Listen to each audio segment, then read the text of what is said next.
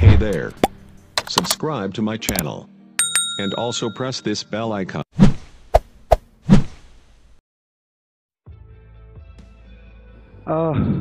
देखिए साहब, बात ऐसी है कि 30 साल से इस देश को नपुंसक बनाया गया है नपुंसक किसी को शक हो उसकी क्या मतलब है तो मैं I don't have to elaborate we have been deterred by the threat कि पाकिस्तान के पास न्यूक्लियर हथियार हैं।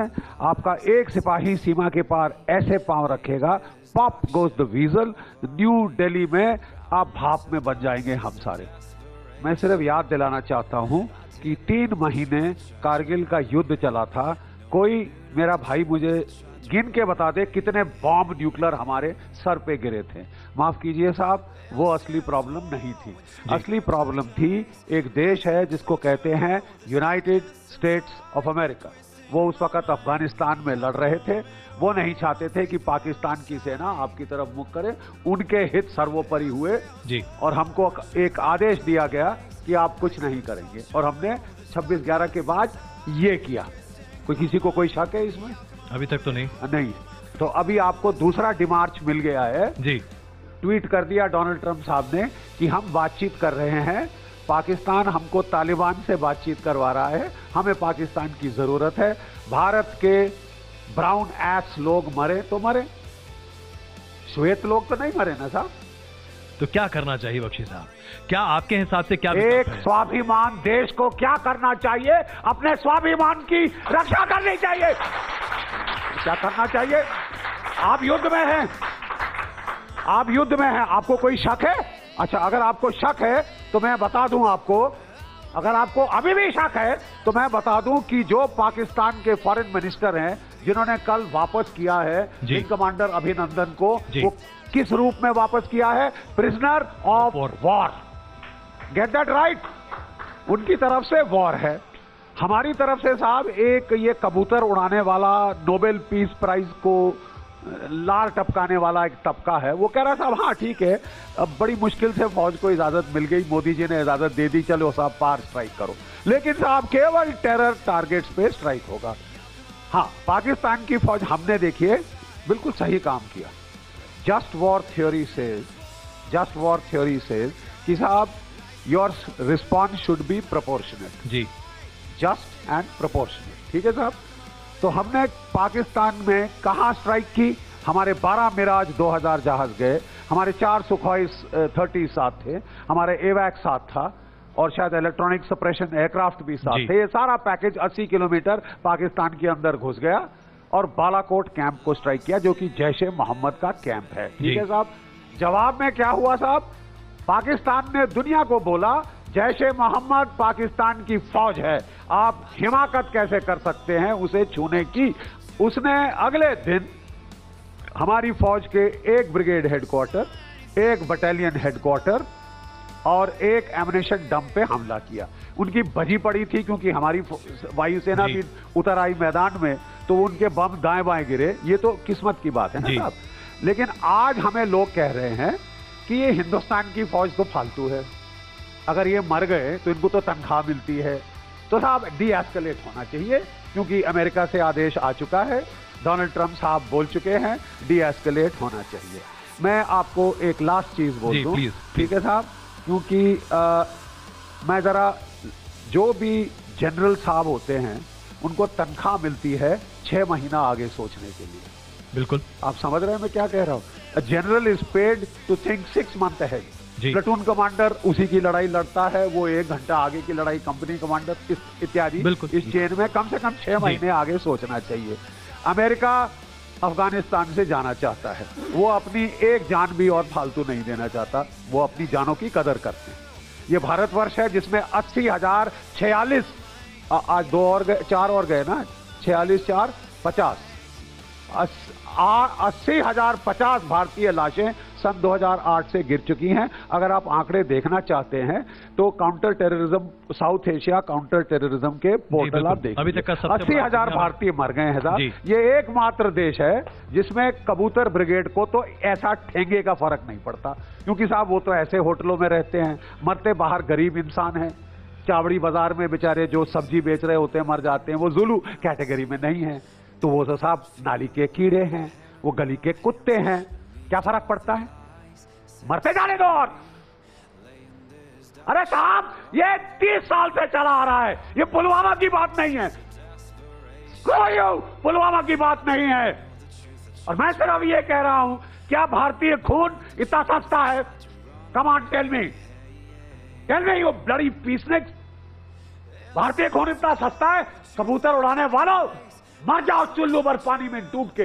We are not prepare to die lieutenant general Gurmeet Singh और जी मैं जी। लास्ट चीज़ कह दूँ जी। नहीं हम आएँगे आपके पास। जी। देश सर्वोपरि है। जी। मोदी साहब के कंधों पर इस वक्त बहुत भारी बोझ है। मैं जानता हूँ पूरी दुनिया शामिल यूनाइटेड स्टेट्स ऑफ़ अमेरिका का दबाव है कि वो साहब अमेरिकी राष्ट्रहित नहीं चाहते कि यहाँ कोई युद्ध आगे बढ़े।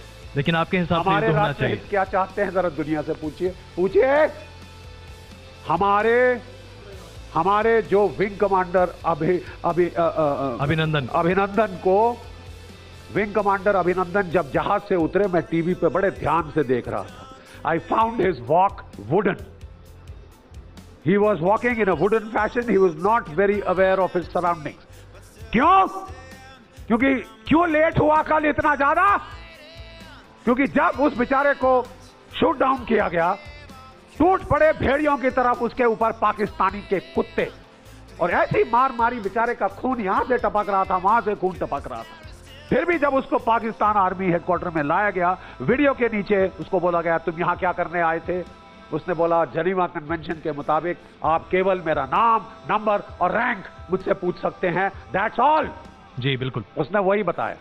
कल रात को एक वीडियो आपने देखा है? जी। क्योंकि पता चला कि साहब पूरे देश में विंग कमांडर अभिनंदन एक हीरो है तो इन्होंने कहा, हिंदुस्तान की नाक रगड़ो। पाकिस्तान के प्राइम मिनिस्टर उड़ के आते हैं लाहौर में। और वो टॉर्चर के ऊपर मैंने एक प्राइम मिनिस्टर को कुत्ते की तरह, एक एक कोतवाली का तो शायद कर दे टॉर्चर किसी आदमी को जो उसके कोतवाली में है, लेकिन मैंने किसी प्राइम मिनिस्टर को आते नहीं देखा कि साहब इसको अब जरा आईएसआई के हाथ सौंपो क्योंकि पाकिस्तान की फौज इसको गवा नहीं सकी। देखिए साहब साइको एक्टिव सब्सटेंस आपको दिया जाए। ये भी सीख गए हमको सबसे बड़ा डर था। कि जो कैप्टन सौरभ कालिया के साथ हुआ था जब उसकी लाश वापस आई थी। क्या आप जानते हैं कि उसकी लाश के ऊपर पूरे बदन पे सिगरेट के निशान थे जलने के? उसकी तमाम सारी हड्डियाँ तोड़ दी गई थी। उसके दोनों आँखें उसकी गालों पे लटकी थी। They had been gouged out we didn't want this to happen to our boy इसलिए हमने धमकी दी हमारी पूरी तेना तैयार हो गई थी साले तुम इस बार ही हाथ लगा के देखो। ठीक है साहब? तो वो हालत पतलून ढीली हो गई और उन्होंने छोड़ दिया कि हमारी डिप्लोमेसी की बड़ी भारी जीत है। बड़े साहब- हमारे शहनशाह फ़ील्ड मार्शल हमारी फॉरेन मिनिस्ट्री में। मैं बस खत्म करके मैं जा रहा हूँ। साहब। एक मिनट। जी जी। हाँ जी। मैं मैं कह रहा हूँ कि हमारे शहनशाह हैं हमारी फॉरेन मिनिस्ट्री में जिन्होंने तीस साल हमको लड़ने नहीं दिया। तीस साल लड़ने नहीं दिया है। बोले, साहब, मरते जाओ मरते जाओ मरते जाओ। न्यूक्लियर बैकड्रॉप है, आप उसको रूबिकॉन क्रॉस नहीं कर सकते। देखिए साहब, मेरा इस वक्त परामर्श है, उसको साइको एक्टिव ड्रग्स दी गई हैं हमारे सिपाही को, ताकि खिल्ली उड़े उसकी पूरे देश के सामने। एक शरीफ फौजी, जिसने एक घटिया एम बिग 21 40 साल पुराने से एक एफ़ सिक्सटीन से लड़ गया और उसे मार गिराया। मार गिराया 4.5 जनरेशन फाइटर उसको वो बदनाम करना चाहते हैं। उसको वो बदनाम करना चाहते हैं और वो चाहते हैं कि साहब इसकी खिल्ली उड़े इसके देश की खिल्ली उड़े हम सब की खिल्ली उड़े इसके लिए सुपरवाइज करते हैं उसका जो है बड़ा sophisticated torture psycho active substances. Have been injected into wing commander Abhinandan now मैं लास्ट में सिर्फ़ ये कहूँगा मोदी जी आगे देखिए प्लीज़ आगे देखिए। छह महीने बाद तालिबान का राज काबुल में हो सकता है। सारी तालिबान किस तरफ़ आएगी साहब? कश्मीर की तरफ़, आपकी तरफ़। आप उसके लिए इंतज़ार करना चाहते हैं। आप अभी हुर्रा बोल के खत्म करना चाहते हैं, फिर गले लगना चाहते हैं। नहीं साहब, हम नहीं लगना चाहते। हम नहीं लगना चाहते। और इस समय ऐसा है, जी। भारत की जनता बड़ी ताकतवर है।